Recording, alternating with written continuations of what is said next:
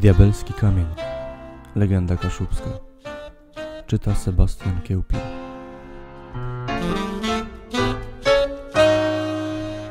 Już od wielu wieków w lipcu Kaszuby licznie udały się do Gdańska na odpust świętego Dominika. Kiedyś pielgrzymki te miały bardziej religijny charakter. Przybywano, aby się pomodlić, wyspowiadać i zmienić na lepsze. Pomagały w tym nauki ojców dominikanów, znakomitych kasnodziejów. Nie na darmo ich zakon nosi nazwę kasnodziejski. Te pielgrzymki bardzo złościły diabła. Długo myślał, jakby tu Kaszubom utrudnić drogę i zniechęcić ich do wędrówki. W końcu postanowił zatarasować wejście do miasta. Chciał wielkim głazem zablokować bramę wyżynną. Długo latał nad Kaszubami w poszukiwaniu odpowiedniego kamienia. Czas miał odpust, był coraz bliżej, a diabeł nie mógł się zdecydować na żaden głaz. W końcu wybrał ten leżący w lipuskich lasach. Do odpustu pozostał już tylko jeden dzień. Należało od razu przystąpić do działania.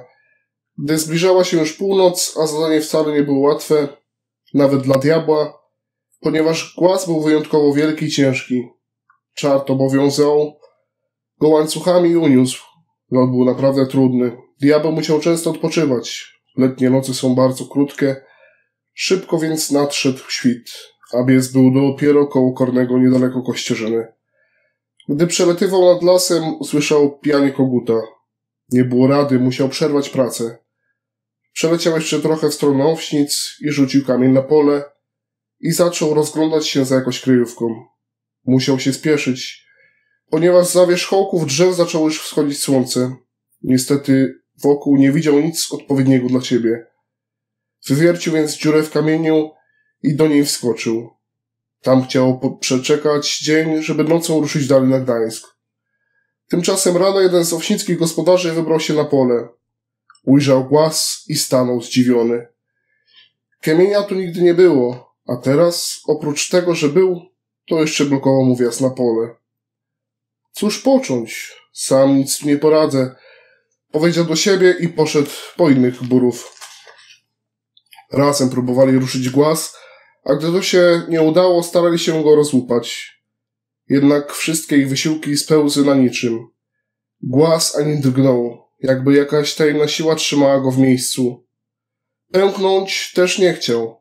Nie pojawiła się na nią ani jedna rysa. Choć chłopi walili weń z całych sił. Głaz trwał niewzruszony, wspomagany diabelską mocą. W końcu zrezygnowany gospodarz rzekł. Skoro tak, to niech tu stoi. Może na coś się przyda. Ustawmy na nim krzyż, zaproponował sołtys i wszyscy chętnie się zgodzili. Poszli zaraz do Kowala, a miał on akurat krucyfiks przygotowany do nowej kapliczki, która miała stanąć na rozstajach dróg. Wysłuchawszy opowieści o dziwnym kamieniu, przystał na propozycję chłopów. Uradowani wrócili więc na pole. Tam u góry jest nawet dziura na krzyż, rzekł sołtys. I rzeczywiście metalowy krucyfiks ciasno wszedł w otwór. Trzymał się mocno i prosto. Tak stoi po dziś dzień.